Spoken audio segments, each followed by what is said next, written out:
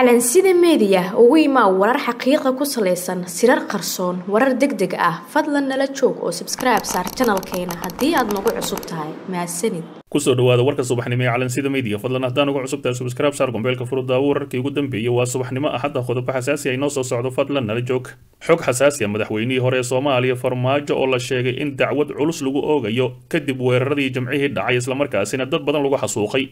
afhayeenka midowda musharaxiinta mucaaradka daahir maxamuud geelle ayaa sheegay in shaqaaqadii ka dhacday daljirka daahsoon iyo sidoo kale weerarkii lagu qaaday madaxdii hore ka dhacaya muqdisho ay ahayd iskuday dil dhammaystiran oo uu mas'uul ka yahay madaxweynaha muddoxileedkiisa dhammaaday ee maxamed cabdilaahi farmaajo islamarkaasina amarkii lagu soo weeraray madaxdii hore asiga bixiyey afhayeenka oo warbaahinta kula hadlaya muqdisho ayaa sheegay in rasaastii ciidamada dowladda ku rideen hoteelka maa-ida exnaasa hablood la doonayay in lagu dilo madaxdii asiga ka horreysay islamarkaasina qorshahaasi uu asiga soo degay.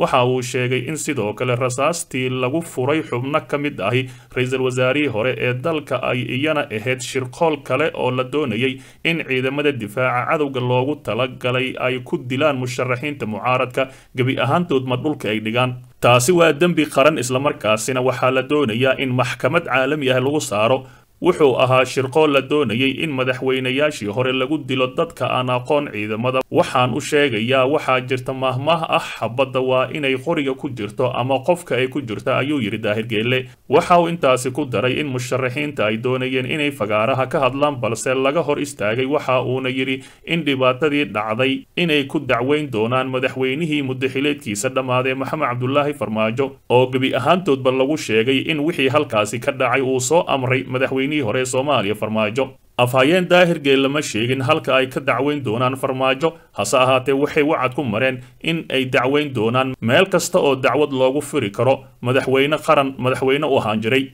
Daahir maxamuud geelle waxa uu sheegay in farmaajo uu diiday in bannaanbax lagu qabto taalada daljirka daahsoon uusan ogolaan doonin in doorasho lagula tartamo. Ninkii diiday shacab soomaaliyeed ama madax asi ka horraysay in ay fikirkooda soo bandhigaan ama ay bannaanbaxaan miyuu ogolaan doonaa haddii laga guulaysto waa maya. Taasi waxay ku tusinaysaa inuu yahay kelitalis islamarkaasina la ogolaan doonin. Sidoo kale brofesor ingiriisi ayaa yidhi bannaanbaxa waa uu soconayaa islamarkaasina haddii uu diido oo kursiga ka degi waayo farmaajo waa in villa soomaaliya loogu daataa ayuu yidhi dhinaca kale imaaraadka carabta oo ku meel gaar ugu yeeray dowladda soomaaliya uu hogaamiyo farmaajo wakhtigiisii ka dhacay dowladda imaaraadka carabta ayaa dowladda ku-meel gaar ahay ugu yeertay dowladda soomaaliya. Uu hogaamiye maxamed cabdilaahi farmaajo. Kadib markii dhammaan hay'adaha dowladda oo wakhtiga ka dhammaaday imaaraadka carabta ayaa arrinta ku sheegtay qoraal uu ka soo saaray rabshadihii jimcihii ka dhacay muqdisho. Kadib markii ciidamada dowladda ay weerareen musharaxiinta mucaaradka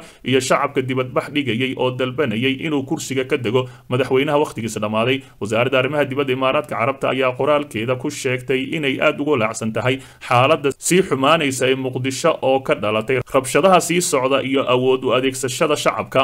Bayaanka ayaa lagu yidhi wasaaradda arrimaha dibadda iyo xiriirka caalamiga ahi waxay ugu baaqaysaa dowladda ku-meel gaarka ahi iyo dhammaan dhinacyada inay muujiyaan heerka ugu sarreeya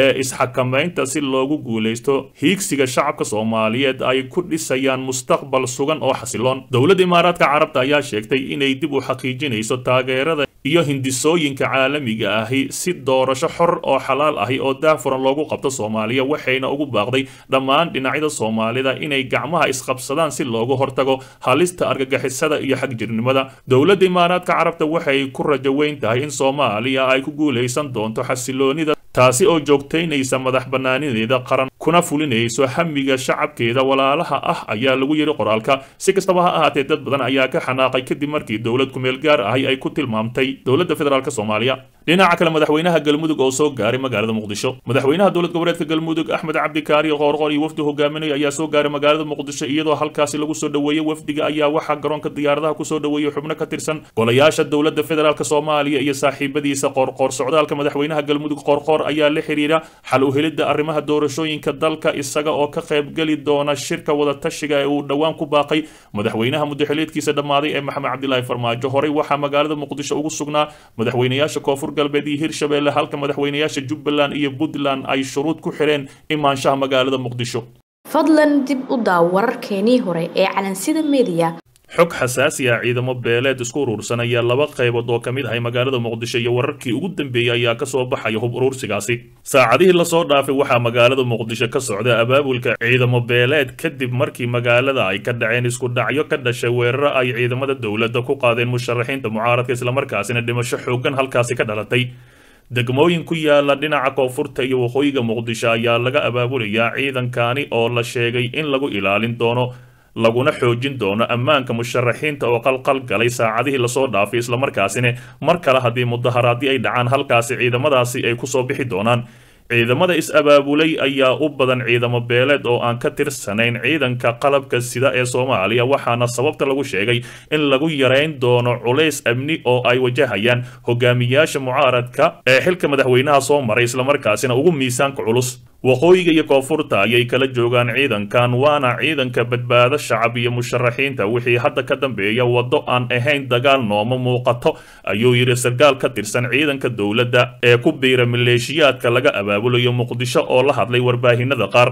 tallaabadii ay qaadeen dowladda ee ay ku beegsadeen mucaaradka iyo shacab dibadbaxayaal dhigayay ayaa la rumaysan yahay inay kicisay dad badan oo markii hore arrintan dhexdhexaad ka ahaa waxaana laga cabsi qabaa inay xaaladda ka sii darto islamarkaasina faraha ay ka sii baxdo. Kadib maanta markii musharaxiinta ay ku baaqeen mudaharaadyo kale magaalada muqdisho ayaa hadda haawanaysa waxaana cidlo ahay waddooyinka muqdisho qaar iyo xaafadaha qaar ciidanka dowladda waxaa weli u xidhan waddooyinka muhiimka ahi lamana oga sida ay ku dambayn doonto xaaladda magaalada muqdisho. Walow galabta ilaa maanta saacadihii dambe waddooyinka qaar ay caadi u marayaan hase ahaatee wadooyin qaar ayaa cabsi ahi. Si kastaba ha ahaatee wixii ku soo kordha uruursigaasi ee ciidamo beeleedkaasi dib ka daawacalan sida meediya dhinaca kale xogta khasaarihii nafeed ee ka dhashay weeraradii lagu qaaday dadkii dibadbaxayaasha dhigayay iyo musharaxiinta mucaaradka. Jimcihii sagaal iyo tobanka febraayo dagaal ka dhacay daljirka daasoon oo maalintaas la filayey inuu banaanbax ka dhaco ayaa sababay khasaare isugu jira dhimasho iyo dhaawac.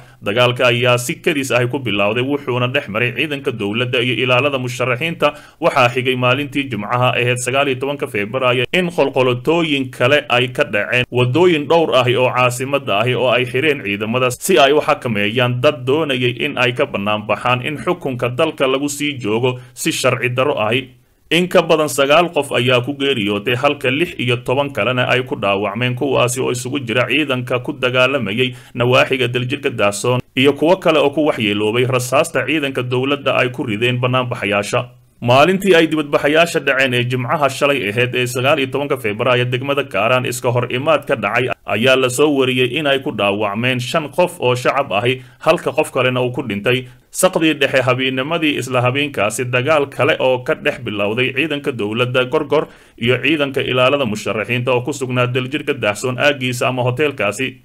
ayaa la xaqiijiyey in ay ka dhalatay khasaare isugu jira dhimashada shan qof oo labada dhinac ahi iyo dhaawac lix kale halka rasaas wiifta ahi uu ku dhintay hal qof laba kalena ay ku dhaawacmeen degmada warta nabadda. Dhanka kale maymuun bashiir waa shan iyo labaatan jir ku nool degmada hodan gaar ahaan carwadii hore ee xoolaha halkaasi oo rasaas ku haleeshay. Xilli sak dhexe ah markaas oo hurdada ay ka soo sallashay xabad kaga dhacday qeybaha dambe jirkeeda